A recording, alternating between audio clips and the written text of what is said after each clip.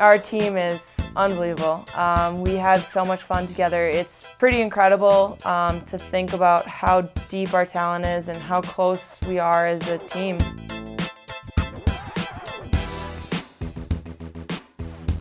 You're always proud to be an Olympian and to have that title and to be an Olympic medalist is, is not something that as women's hockey team we, we take lightly. We're very proud of, of what we've accomplished, but our goal is to be Olympic champions. That's the ultimate goal.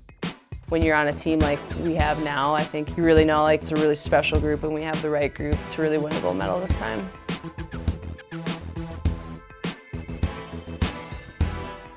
what we accomplished back in March, it really resonated with a lot of people just because it was, it was we weren't asking for outrageous demands. It's interesting because we've sort of always been taught, you know, stay away from politics, stay away from religion, um, you know, as an athlete, but the times are changing and I think now more than ever we need strong, positive role models. Um, and my firm belief is I stand behind equality. Um, I want each and every single human being on this planet to be treated equally.